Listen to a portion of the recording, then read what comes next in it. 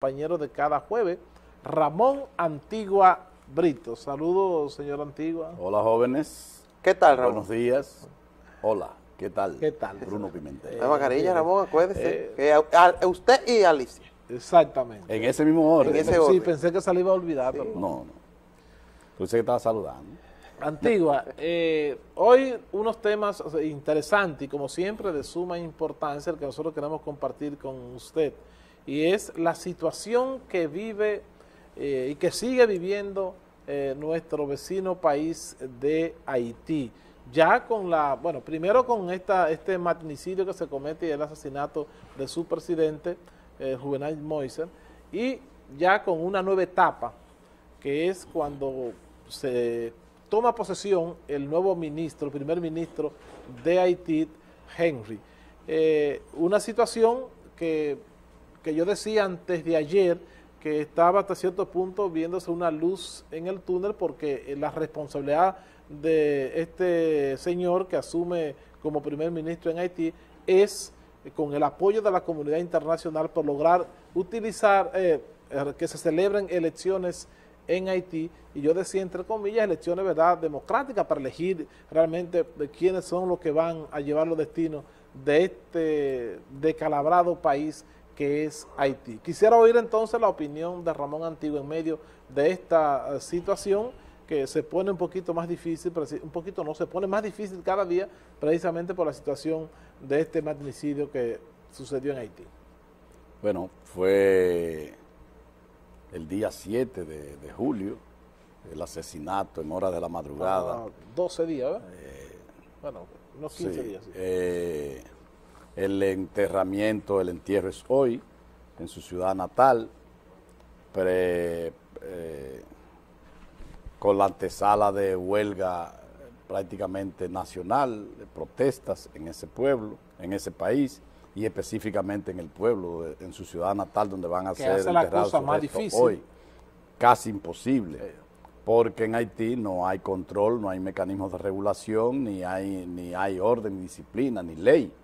Entonces esos eh, convocantes a huelga o esos, esos ciudadanos que protestan no tienen ninguna ma- forma, no hay ninguna forma de manera institucional que puedan ser detenidas esas, esas, esas acciones que, que se están acometiendo ahí.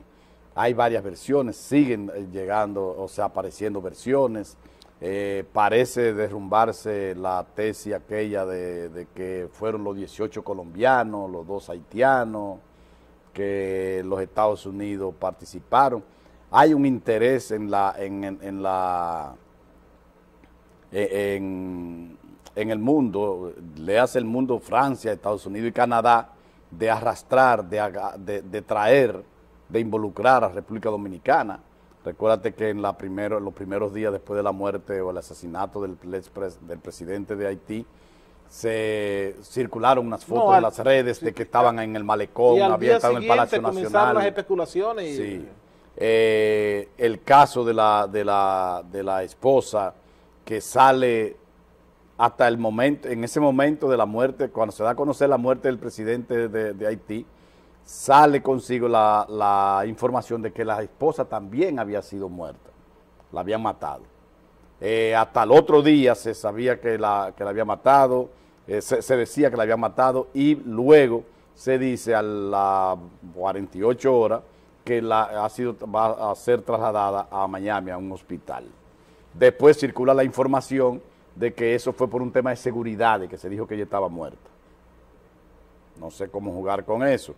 Y ya la esposa, en eh, el lunes, si mal no El, recuerdo, el domingo, creo que el domingo, la esposa regresó de Miami con, por suerte y gracias a Dios, con apenas eh, fractura o laceraciones en un brazo. Cuando usted dice que, que se dio la información errada, vamos a decir, de que estaba muerta, entonces os, se suponía que al dar esa noticia que estaba muerta, por lo menos las lecciones pudi- debieron, ser más graves. debieron ser mayores, ¿verdad que sí? No, y- Pero, sin embargo, eh, como usted señala, eh, sorpresivamente, pues aparece, ¿verdad? Solamente con, un- vamos a decir, un rasguño, ¿verdad? Sí. En un brazo, lo que le permite regresar en tiempo récord a- a- a- a su país. Ahora, Antigua, y con ese tema de la primera dama también se ha dicho y se ha versado que ella se va a involucrar en la política. Y a mí me parece curioso que ella llegue el domingo a Haití y el lunes renuncia el que era primer ministro interino y el martes ya está juramentado el primer ministro que había decretado que había, Mois que antes había de morir. destituido eh, eh, Mois. Pero ese todavía con el cadáver. Con el cadáver que, no se ha ha- enterrado todavía. Sí.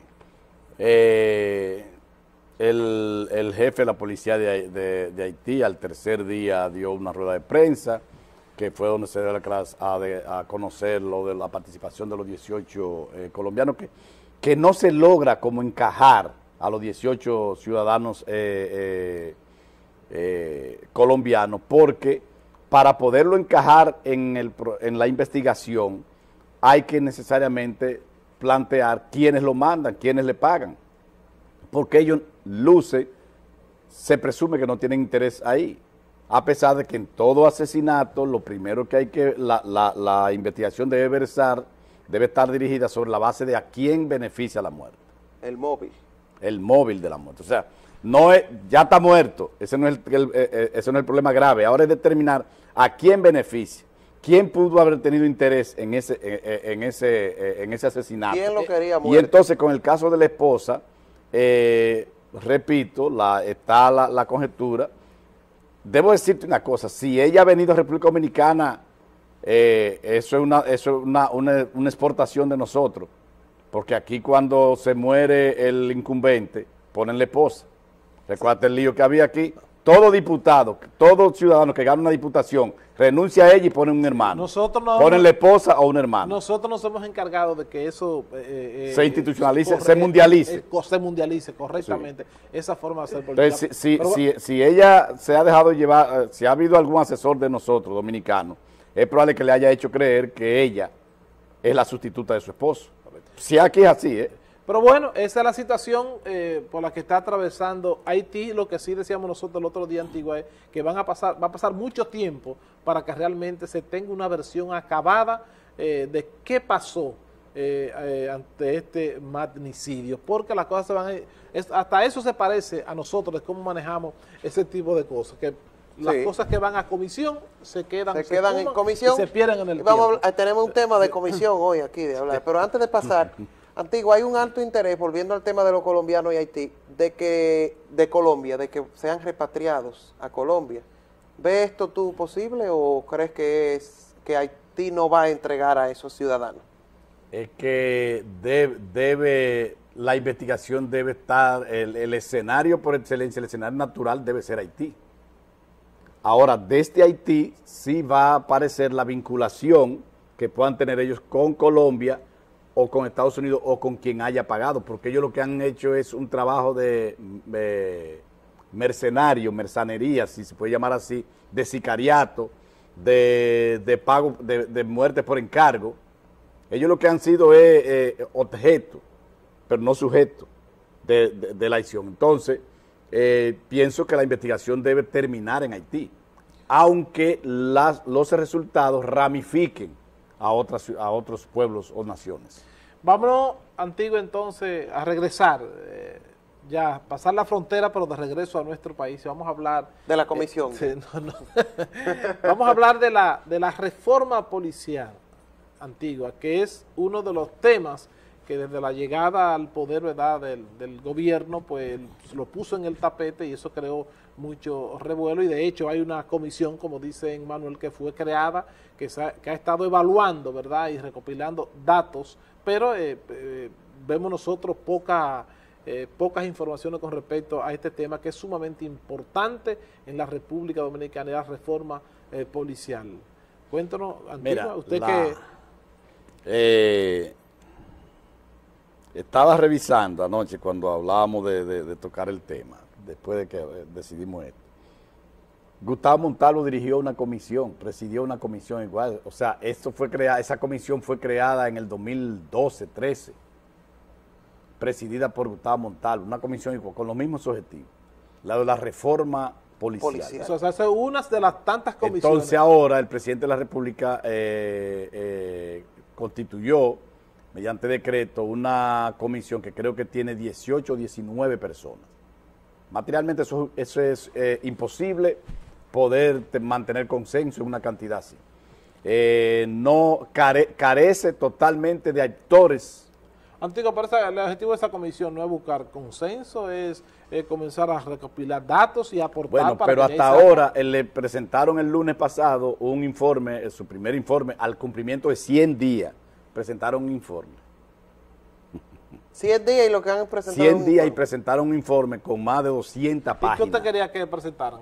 Dígame. Las soluciones. Hay que hacer esto, esto, esto y esto. No, ¿Tú sabes lo que resuelve el problema de la policía? Yo oí que, eh, Ser- yo oí que- que Servio Tulio habló, que es el presidente de la comisión, El dueño de la comisión. el dueño, bueno, de que había contratado expertos en materia de seguridad. ¿Por qué contratar expertos en materia de seguridad cuando se podían haber nombrado en esa comisión expertos en materia de seguridad? Eh, el propio presidente de la República en la campaña del 2012, si mal no recuerdo, había contratado los servicios de Giuliani. Rudy Gu- Giuliani, eh, ex eh, alcalde de, de Nueva York, que resolvió el problema del narcotráfico en las calles de Nueva York. Pero ¿por qué desesperarse? Pero ahora no está. Pero ¿por qué desesperarse? Usted dice, cuando tú hablas de informe, cuando esa misma comisión tiene un tiempo... Eh, eh, eh, No, no, esa comisión tiene cuatro años. Claro. Para que pase y entonces vuelva Luis Abinader, si se reelige, No, entonces- o u otro, u otro eh, presidente. no, esa comisión eh, se nombró, se creó y Para. tiene un- se le dio un año para todo el hacer las Bueno, pues a- a los 100 días tiene un informe meses, más de a los tres 200, meses. a los 100 días tiene más, un informe más de 200 páginas. O sea, ¿qué quiere ¿Cuál es- cuál ¿Qué es la- quiere decir? ¿Se está trabajando? La parte importante que presentan como logro en, esa, en, en ese estudio, si se puede llamar así, en ese informe, el tema de la, ¿cómo le llama? De las especialidades. En la policía hay, eh, es un tema muy cardinal y es que dependiendo de las relaciones que haya, a ti te, tú haces un curso de, eh, de cómo usar el patio para huertos. y eso te da una categoría de especialidad, entonces te ascienden. La El tema de la, del manejo de los recursos a la Cámara de Cuentas que, que haga una auditoría a, lo- a los recursos que, que maneja la policía. Entonces, pienso, como neófito en, en la materia, diría una amiga mía, eh, que el problema no está ahí. Porque la cantidad de asesinatos, de participación, de complicidad de la Policía Nacional en los actos delictivos que se, re- se registran en la República Dominicana no, no, no se generan por el mal uso o buen uso de los recursos, ni por la escasez de recursos en la policía. Finalmente, ¿cree Ramón Antigua Brito que pudiera materializarse realmente, que, que se, que se dé la reforma eh, policial? No. La policía puede reformarse, ¿tú sabes cómo? ¿Qué consiste si, la respuesta? si el, Sí, sí, muy- si el jefe de la policía es como hizo Luis Abinader, presidente de la República, con el director del DNI, que siempre era un militar o un policía, y ahora es un civil, un abogado. Un jefe de la policía, un director de la policía, una especie de administrador, de ministro, un ministro. Usted un dice- administrador, un gerente, no así, como el amigo de nosotros, sí, un sí, gere- la gerencia, sí, que sí, dio se clase de pudiera gerencia. Sí, sí, se pudiera materializar. la- pudiera ser más fácil porque es una gente, es alguien que no tiene compromiso y menos- que lo que va es a- con una visión gerencial, de dirección, de cualificación y de, ¿cómo se llama? De eh, cuando te cuando te nombran por... Ahorita se la dan a Servio Por la pero usted está capacidad. diciendo eso. Pero pudiera ser. Porque bastantes veces que él ha dicho que hay que hacer en este país, pero nunca él, ha- pero Nunca está nunca se- en la posición de hacer. Nunca se ha- no, no es que nunca ha hecho, cuidado. No, no, nunca, nunca- lo han puesto no, en la posición donde puede hacer. O nunca se Pero él es el que le ha dicho a este país durante los últimos 20 años qué hay que hacer en este país, en toda la materia. Pero no se hace. Antigua. es que no lo, no lo nombran. ¿Eh? No lo nombran. Gracias, gracias Ramón Antigua por su participación como cada jueves aquí en este segmento de política a otros niveles. Es interesante un panel, ¿verdad?, con expertos para hablar realmente de las posibilidades que existen o que pudiesen existir para que se lleve a cabo la reforma policial en la República Dominicana. Gracias.